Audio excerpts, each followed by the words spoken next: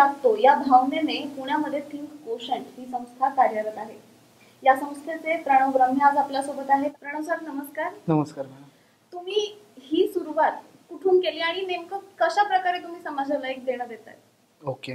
तर मला या आय टी इंडस्ट्रीमध्ये आता जवळजवळ पंधरा वर्ष झालेली आहेत आणि मी बऱ्याच मोठ्या मोठ्या ऑर्गनायझेशन्समध्ये आय टीमध्ये काम केलं इंडियामध्ये यू एसमध्ये.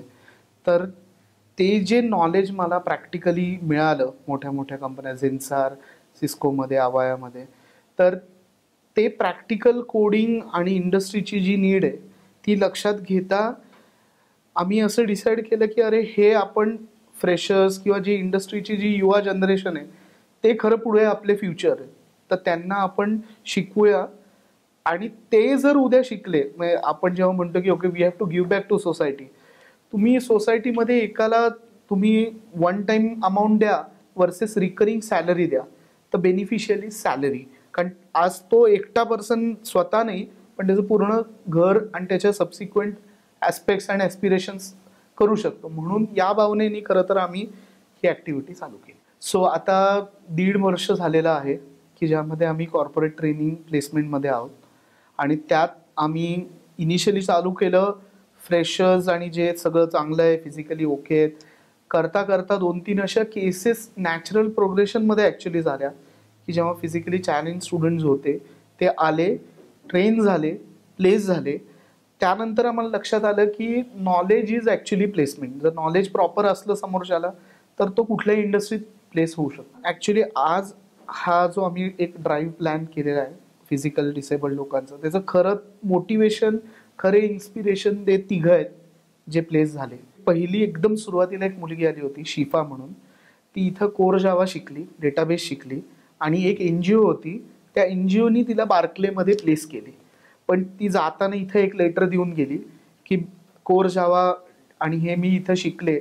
त्यामुळे त्याचा इंटरव्ह्यू त्याच्यावरच झाला. आणि ती आज सक्सेसफुली प्लेस झाली. ती नाईन्टी पर्सेंट तिला ऐकू आणि बोलता येत that was first case second case आहे एक मुलगी आहे ती बँगलोरला प्लेस झाली. आत्ता रिसेंटली मागच्याच महिन्यात ती प्लेस झाली. ती हाफ पॅरालाइज्ड आहे हाफ साईडला स्नेहल म्हणून मुलगी.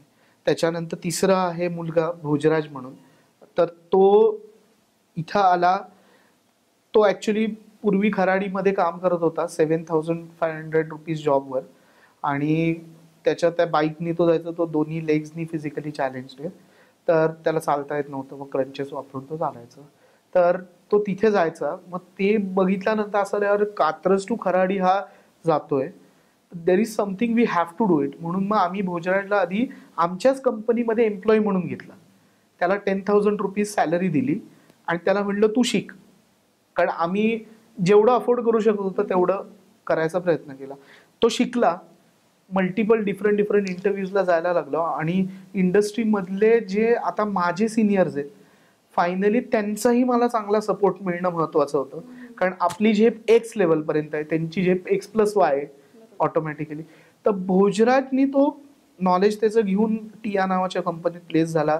त्याला सात लाख पॅकेज होता. आता साडेसात झालंय त्याचं पॅकेज आणि त्याचं लग्न झालं त्याला मुलगी आहे. तर आता हे लक्षात घेता असं लक्षात आलं की now the time has come to go to the next level म्हणून आम्ही फिजिकल डिसेबिलिटीचा हा ड्राईव्ह ठेवला.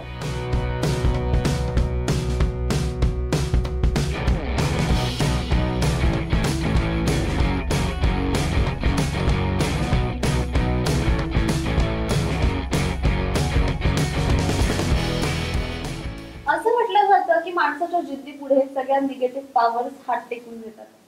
आणि हे अगदी खरं ठरवलं आहे पुण्यातला एक व्यक्ती ज्यांचं नाव आहे भोजराज सारसंधी. आज आपण त्यांच्याशी बोलूयात त्यांच्याशी बातचीत करूयात आणि जाणून घेऊयात त्यांनी कशा प्रकारे एक यशस्वी गाठलं आहे.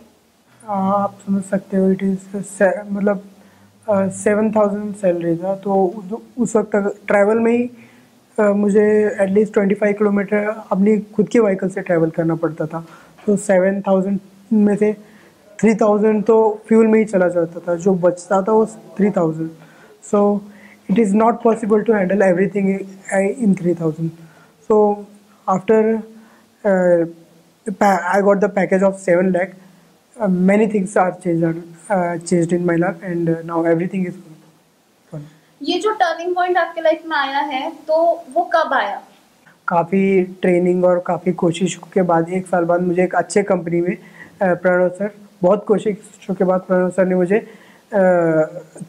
एक अच्छे कंपनी में सेवन लाख पैकेज के साथ प्लेस कर दिया। डिफ़िकल्ट तो डिफ़िकल्टीज तो आती रहती है, जैसे मेरे हैंडीकैप्ड तैयार होना, पहुँचना, ये सब मतलब डेली में डेली रूटीन में कई डिफ़िकल्ट आती रहती है। और उसके अलावा जो थे, मुझे कुछ टेक्निकल चीज़ों को समझने में भी बहुत प्रॉब्लम होता था। उस तो उस पर प्रणव सर ने बार बार ध्यान दिया। तो इस तरह से कई डिफ़िकल्टीज आई बट उन्हें क्लियर करने के बाद जी मुझे मेरा एक आ, मुझे एक डेस्टिनेशन मिला एक अच्छा डेस्टिनेशन मिला एक अच्छा कंपनी पे मेरा सिलेक्शन अपंग असून सुद्धा कधीही त्यांनी स्वतःला अपंग समजलं नाही. त्यांच्या याच गोष्टीमुळे त्यांच्या याच ध्यासामुळे त्यांनी आज इतकी मोठी मजल मारली. तुम्हाला तुमच्या भावी आयुष्यासाठी खूप खूप शुभेच्छा.